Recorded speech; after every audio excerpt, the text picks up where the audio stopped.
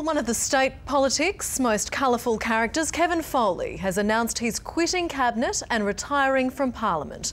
Mr Foley will leave at the same time as his long-time leader, Mike Rann, opting not to stay and work under Jay Weatherill.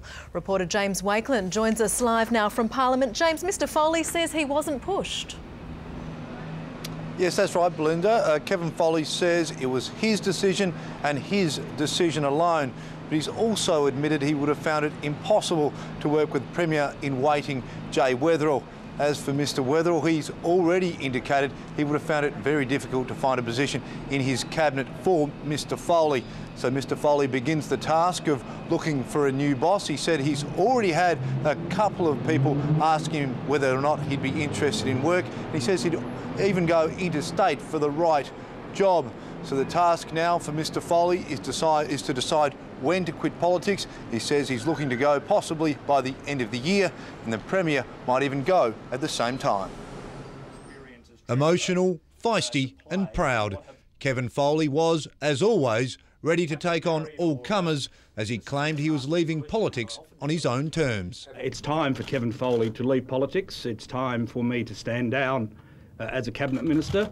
Mr Foley, who was Treasurer and Deputy Premier to Mike Rann for nine years, will stand down on October 20, the same day as the outgoing Premier.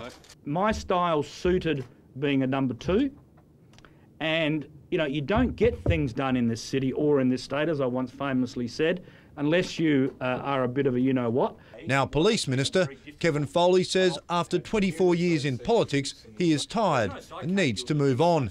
He says he won't miss the constant scrutiny and he remains saddened by the reaction to an assault on him outside a bar last year.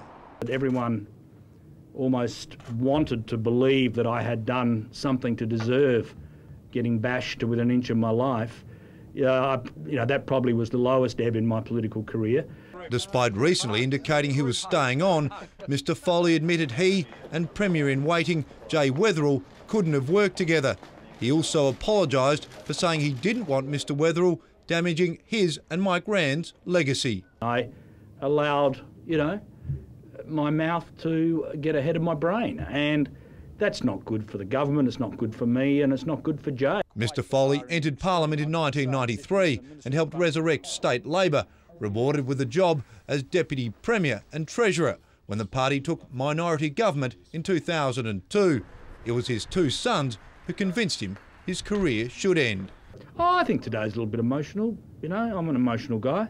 I've been told not to cry by my kids. Mr Foley says delivering Adelaide Oval and the soon to be finalised Olympic Dam expansion will be among his greatest achievements.